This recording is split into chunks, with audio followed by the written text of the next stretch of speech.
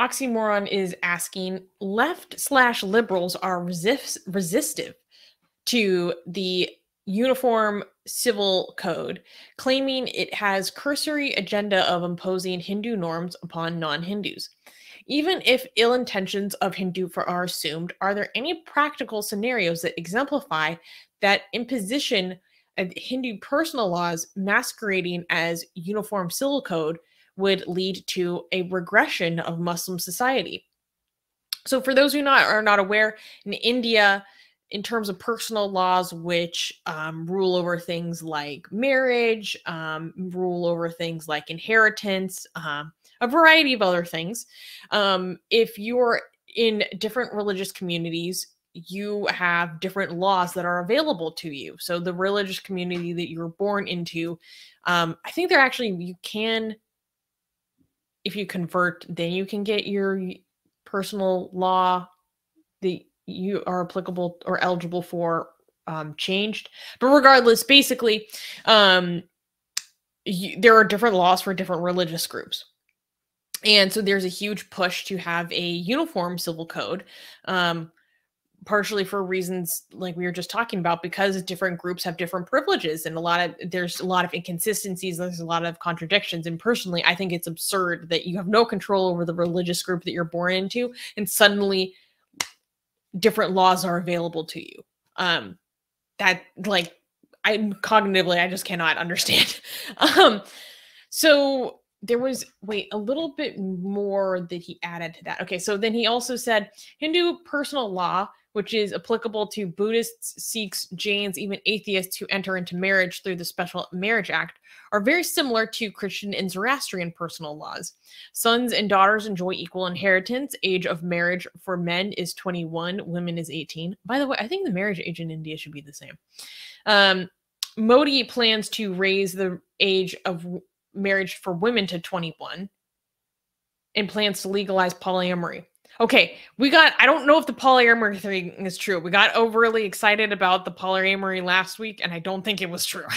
um, only one community stands out from these, and this framework exists just for this one community.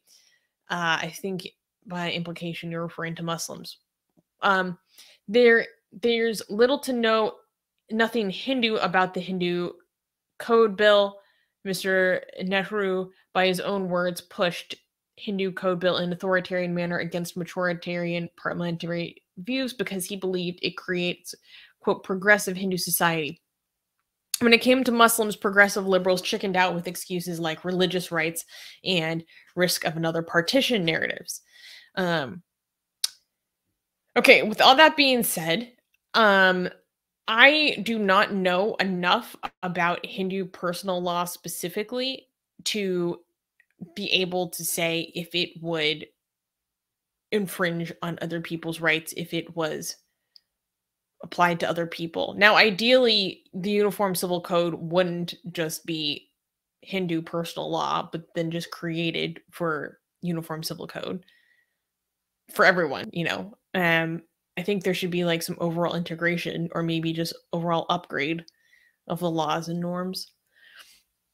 It's difficult. I think partially because of the current climate of um like all the the push against halal meat um in in so many other ways in which muslim public expression of muslim life are being targeted across india um i think people just have a lot of anxieties about other expressions of being a Muslim being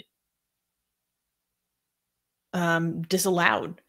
Um, but I can't I can't speak personally to if Hindu personal law was would actually regress Muslim society. Okay, let's highlight two comments about this. Um, um Oxymoron is saying, FYI, I am not huge on the Uniform Civil Code. I just find this assumption silly. It should be responsibility of Muslims to reform their society, not saffron. Oh, you got cut again. Not saffron knights.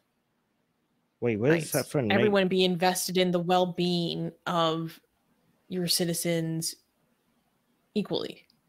Wait, you got cut for a second. What did you say before Saffron Nights?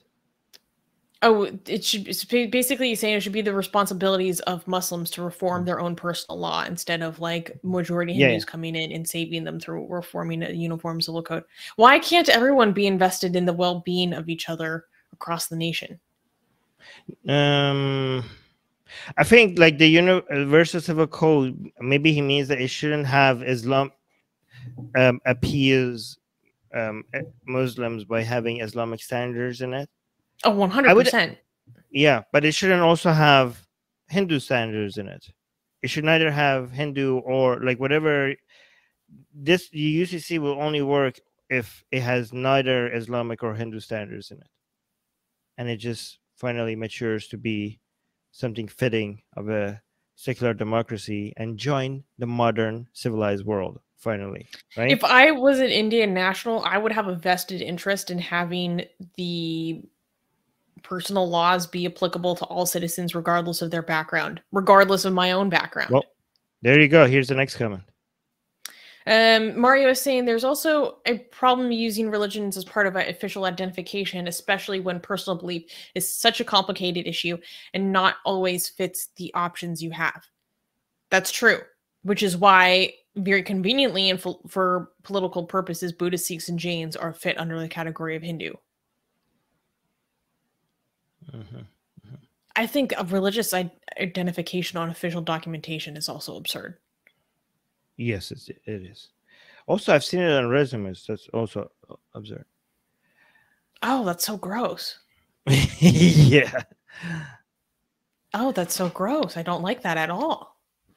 yeah Hire me. I'm a Christian. I'm a Yeah. good Christian.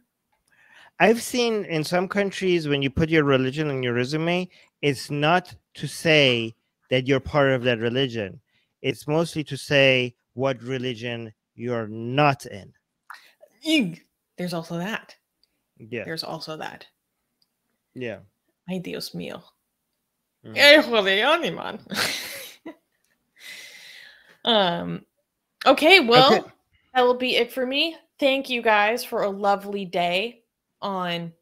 Well, tell people what's about to happen. Here, I'll help you. Well, Armin is about to. He just posted the link in. No, I haven't yet. I'm gonna post it here. Oh, I'm gonna post it right here. Because if I post it now, everybody's gonna see it. But it's gonna be on the community. So it's on the channel. It's gonna be on the community tab. But it's also see, I could put it public, but I'm not gonna put it public. I'm gonna put it all members. So it's gonna be only visible to the channel uh, members um to come up and ask the questions if they want if they wish you know sometimes that um, some people come up and sometimes not but yeah let me post the link right I, now I do have one quick thought about the Uniform Civil Code. My friends who are like themselves very liberal Indians have told me, like, even now to this day, if they tried to actually execute a Uniform Civil Code, like, the Muslim community would lose their shit and it would be really, really, really, really, really ugly.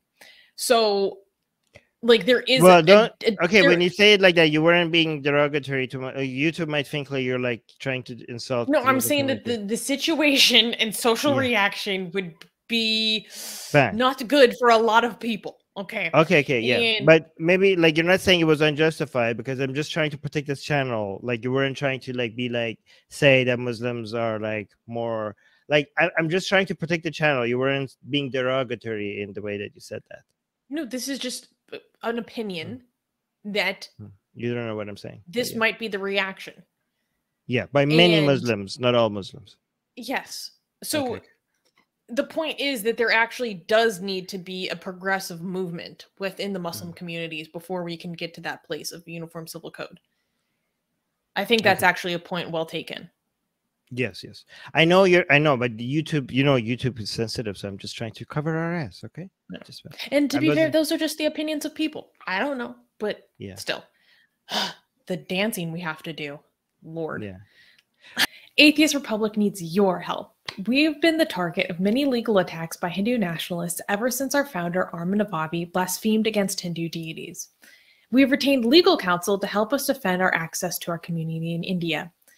We have started a fundraiser that will help us afford to tackle many legal issues, including judicial harassment and censorship. Whatever you can contribute will go a long ways in helping us in this fight. Link in the description below.